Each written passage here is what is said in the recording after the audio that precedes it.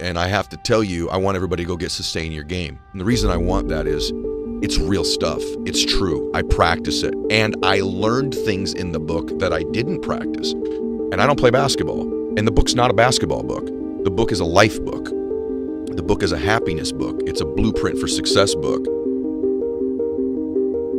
to kind of put into context, so my first book was Raise Your Game, and, and the goal of that was to show folks how to reach optimal performance. Uh, but then I realized that's only half the battle. Uh, staying there is the hard part, and staying there is more of the long term. I mean, it's it's one thing to get to the top of the mountain; it's the other thing to stay there. Um, you know what this reminds me of? If I, I don't, I, I say this with the most respect. Sure.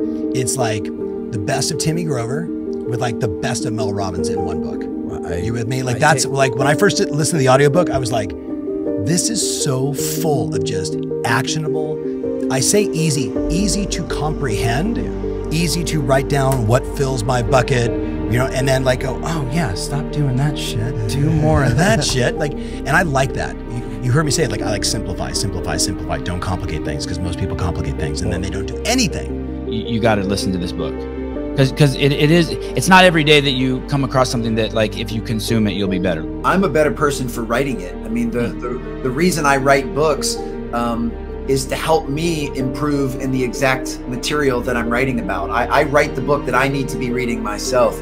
We have been conditioned and taught how to start and stop, but not sustain. And I thought I would use that lead in because it's really the heart of the book about why sustaining is so vital to our success. I remember vividly uh, back when I was in the basketball training space, and I was at an event where there was a bunch of NBA rookies who had just recently been drafted, and a veteran player said to them, and he said this with a smile, kind of tongue in cheek. He just said, "Hey, congratulations on making the NBA. Uh, I know this has been for most of you a lifelong dream since you were first able to walk or dribble a basketball." And it's finally come to fruition. You finally reached the pinnacle and finally reached your ultimate dream. But I want to tell you that was the easy part. The hard part is actually staying in the NBA. But I started to figure out that there was a slight difference between what you need to do to reach the top and what you need to do to stay there for long periods of time.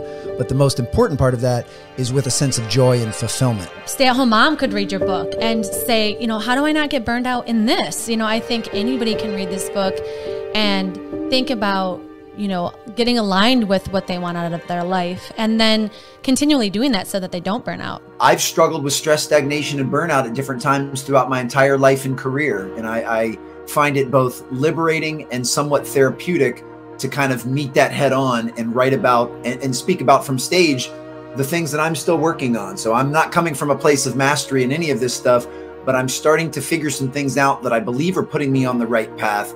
And then I always want to share that with others. And anytime I hear feedback that that, that work is helpful, um, you have no idea how much that means to me.